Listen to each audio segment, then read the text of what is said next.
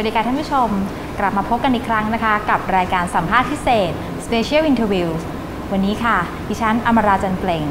พาท่านผู้ชมมาที่คณะสถาปัตยกรรมศาสตร์ มหาวิทยาลัยเกษตรศาสตร์ วันนี้ดิฉันมีนัดกับสถาปนิกหนุ่มท่านหนึ่งนะคะสำหรับสถาปนิกท่านนี้หลาย ๆ ท่านคงอาจจะคุ้นชื่อ หรือแม้กระทั่งเคยเป็นลูกค้ากับผลิตภัณฑ์ของท่านมาแล้วนะคะ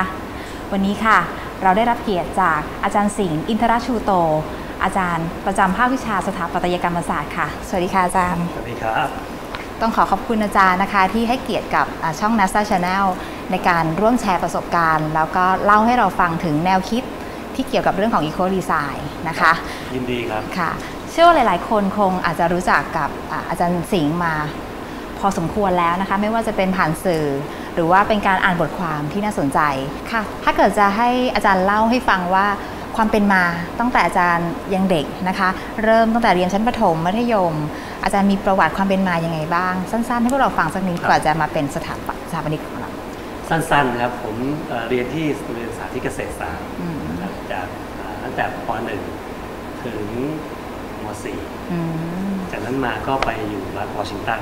เรียน high school ต่ออืมเอ่อืม ม.5 ค่ะ ม.6 ครับแล้วก็เข้ามหาวิทยาลัย U of Washington อืม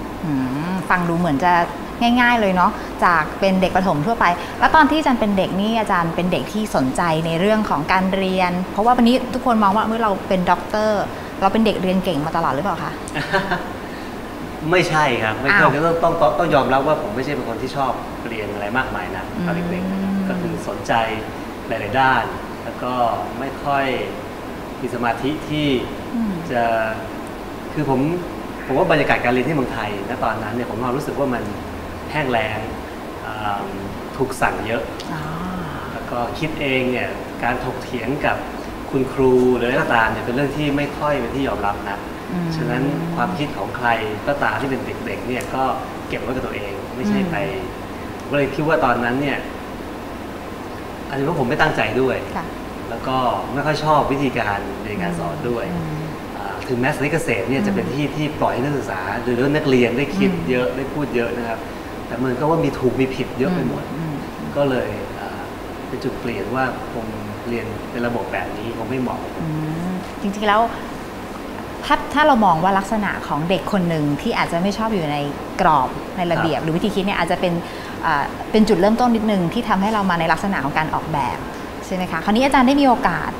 จากการย้ายไปเรียนต่อในระดับปริญญาตรีที่ที่เอ่อสหรัฐอเมริกาครับใช่ไหมคะจากจุดนั้นอะไรที่เป็นตัวขับเคลื่อนดีกว่า ที่ทำให้อาจารย์ตัดสินใจว่าต้องเป็นสถาปัตยกรรม จริง ๆ แล้วผมทราบอยู่แล้ว ว่าอืมผมตั้งใจจะเรียนสถาปัตยกรรมตั้งแต่เด็กๆด้วยเหตุผลอะไรก็ไม่ทราบค่ะว่าทำไมถึงอยากจะเป็นสถาปนิกค่ะนะครับก็เอ่อมีความมุ่งมั่นตั้งแต่เด็กเด็กๆเลยว่าถ้าจะเรียนดนตรีอ่าจะเลือกเรียน สาขาสถาปัตยกรรมอืมแล้วก็ตั้งแต่เวลาเราเรียนเอ่อช่วงเบื้องต้นปีหนึ่งปีสองเนี่ยก็จะเน้นทางด้านสาขาวิชาต่างๆเหล่านี้ แม้แต่ตอนอยู่ที่สาธิตเกษตรค่ะผมเลือกสายวิทย์ก็จริงอืมแต่ผมก็ไม่เลือกสายวิทย์ที่มี biology หรือ chemistry อืมก็เป็นฟิสิกส์ค่ะอย่างเดียวกับเลข ฉะนั้นผมไม่ได้เลือกว่าจะเรียนสถาปัตย์มันเหมือนเป็นส่วนหนึ่งของความคิดที่อืมอยากจะเรียนสถาปัตยกรรมในต้นอืม ดูจริง ๆ แล้วอาจารย์เหมือนมีอิสระทางความคิดแล้วก็กล้าเลือกกล้าเลือกที่เราเราจะไปตรงคณะสถาปัตย์ค่อนข้างเยอะ จริง ๆ แล้วเอ่อมีน้องๆในเมืองไทยครับหลาย ๆ คนยังรู้สึกว่า ถ้าฉันเรียนเก่งฉันต้องไปเป็นคณะทางฝั่งวิทยาศาสตร์ ถ้าฉันเรียนเอ่อไม่ค่อยเก่ง อาจจะต้องเป็นสายศิลปภาษาหรือศิลป์ย่อยๆลงมา แต่ว่ามุมมองของอาจารย์ อาจารย์มีใครหรือว่าคุณพ่อคุณแม่หรือว่า หรือว่าเป็นโรงเรียนคุณครูหรือเปล่าที่ทำให้เราเหมือนกับว่าเข้าใจตัวเอง แล้วตัดตัดสินใจเลือกในมุมของสถาปัตย์ผมทราบว่าผมเรียนไม่เก่งอืมตั้งแต่ต้นอืผมทราบว่าผมคะแนนไม่ได้ดีเดย์อะไรอืมตั้งแต่ต้นค่ะฉะนั้นคนที่มีความสามารถที่ค่อนข้างจำกัดอืมอย่างผมเนี่ย ผมก็จะทำได้ไม่กี่อย่างอืมฉะนั้นเมื่อเราทำได้ไม่กี่อย่าง เราก็จะไม่ไปเลือกสเปซสปะอืมไปหมดว่า อันนั้นก็ได้อันนี้ก็ได้อืมฉะนั้นมันมีกี่กี่สายวิชาชีพที่ เกี่ยวกับอ่าจินตนาการอ่าเกี่ยวกับความคิดเริ่มสร้างสรรค์ค่ะเกี่ยวกับการทำอะไรนอกกรอบอืมจะเป็นแฟชั่นเลย มันก็คงไม่ใช่สายที่ผมสนใจนะค่ะอ่ามีสายอะไรอีกที่มันผสมระหว่างศาสตร์กับศิลป์ที่ผมชอบทั้งสองอย่างผมชอบฟิสิกส์ผมชอบเลข จริงอยู่ก็อาจจะไม่ชอบ biology หรือ chemistry ผมชอบจินตนาการผมชอบการวาดอืมชอบการเขียนผมชอบการคิด ก็มีอยู่แค่ไม่กี่สาขาที่เราเด็กๆเราจะมองได้ว่ามันคือ การผสมผสานระหว่างสิ่งเหล่านี้นะค่ะผมก็คิดว่าก็ใช่ครับอาจจะเลือกอ่าสถาปัตย์ค่ะ interior design อืมหรือว่าอะไรที่เกี่ยวกับการออกแบบอืมผสมกันอยู่อย่างเงี้ยครับก็มีอยู่ไม่ไม่มากอืมนั้นผมก็เลยเลือกเลือกต้องจะเรียกว่าเลือกเนี่ยอาจจะเป็นคำที่ผิดอ่าเพราะไม่เคยได้เลือกจริงๆอาจารย์เข้าใจตัวเองมากกว่า ผมกลับนึกว่าตอนเด็กๆเนี่ยผมมีความคิดเสมอว่าทำไมทุกคนเกิดมาไม่รู้อยู่แล้วอืมว่าตัวเองต้องทำอะไรอืมเมื่อเวลาคนถามว่าจะเลือกเรียนอะไรเนี่ยตอนเด็กๆผมเคยคิดว่าเอ๊ะเขาต้องเลือกกันด้วยเหรออืมเป็นคำถามในใจผมเสมอเลยว่าเขาต้องเลือกกันด้วยเหรออืมจนบัดนี้ผมเข้าใจแล้วว่า เออบางคนมันเก่งหลายอย่างอืมมันก็ต้องเลือกอืมหรือบางคนไม่เก่งเลยเลย มันก็ต้องเลือก สำหรับผมมันมีข้อจำกัดตัวเลือกยะน้อยดิตัวเลือกมันน้อยใช่อะกลายเป็นเรื่องของความไม่เก่งแต่เป็นโชคดีนะเนี่ยอาจารย์เป็นจังหวะจังจังหวะที่ดี คราวนี้เรามาต่อกันนิดนึงหลังจากนั้นอาจารย์รู้ละอะฉันต้องสงสัยฉันต้องเป็นสถาปัตย์เรียนที่ไม่ต้องมีไบโอโลจีไม่ต้องมีทางสายสายวิทยาศาสตร์มากละอาจารย์ก็ข้ามไปเรียนที่วอชิงตันส Washington เตท State วอชิงตันสเตทชีวิตในต่างประเทศอ่าจากเด็กนักเรียนไทยคนหนึ่งพอไปอยู่ที่สหรัฐอเมริกา อาจารย์พบมีปัญหาอุปสรรคอะไรก่อนบ้างไหมคะ คือผมเข้าใจอย่างนี้ตอนก่อนไปว่าไปแล้วจะสนุกอ่าภาพวาดอเมริกาของผมเนี่ยมันเป็นที่ที่สนุกสนาน มีค่ะอะไรตื่นเต้นเร้าใจอืมอืมอ่าสีสันอืม colorful เมืองมากนอกอืมแต่พอไปถึงจริงๆแล้วเนี่ย Washington State เนี่ยเขาเรียกว่า evergreen state อืมเป็นภูเขากับลำธารเป็นส่วนใหญ่ มีทะเลสาบภูเขาลำธารเรือใบ สิ่งเหล่านี้มันเป็นสภาพแวดล้อมของ Washington State ค่ะอืมไม่ได้มีแสงสีไนท์คลับบาร์อย่างที่เราคิดไว้แต่ตอนอืม ณตอนนั้นเนี่ยเริ่มเริ่มรู้สึกว่าเอ๊ะเรามาที่ที่ไหนกันแน่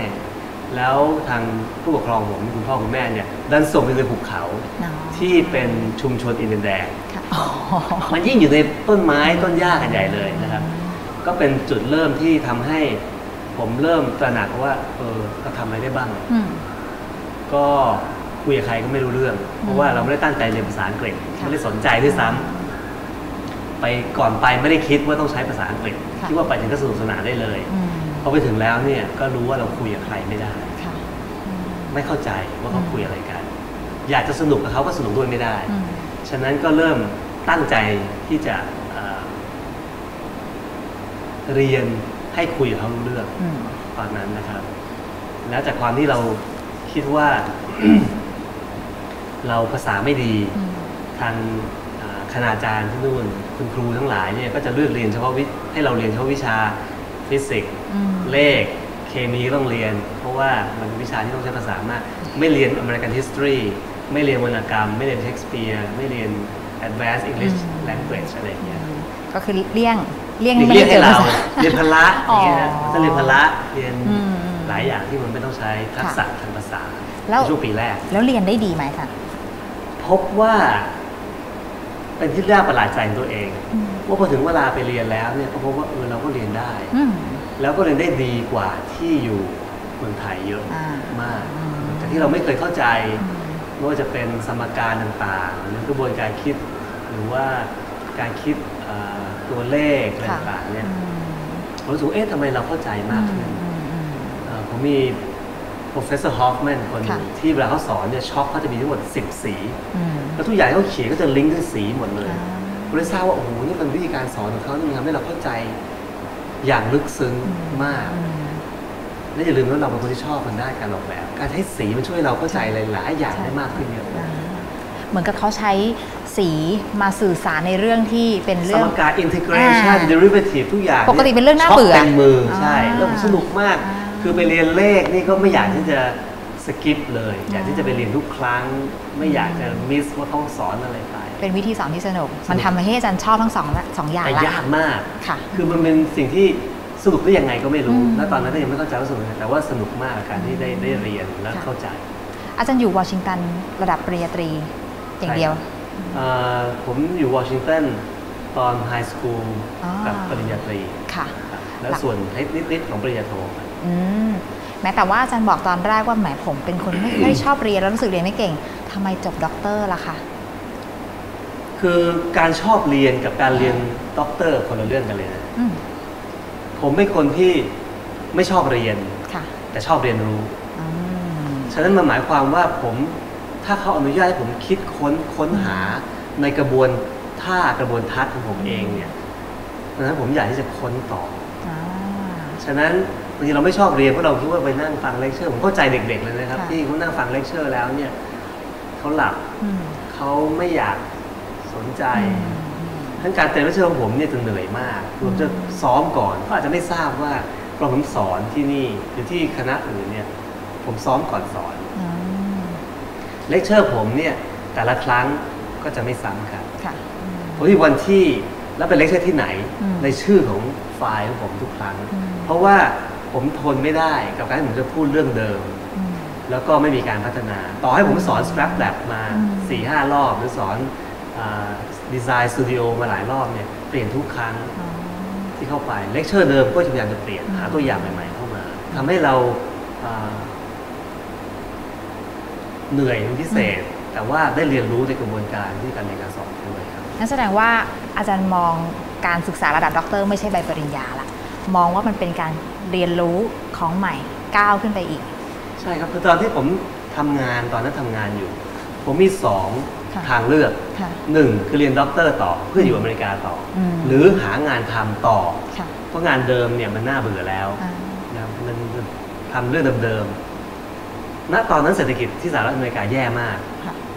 หางานอีกออฟฟิศหนึ่งเนี่ยไม่ใช่เรื่องง่ายแน่นอนถึงแม้ผมจะจบหลายปริญญาก็ตาม อืม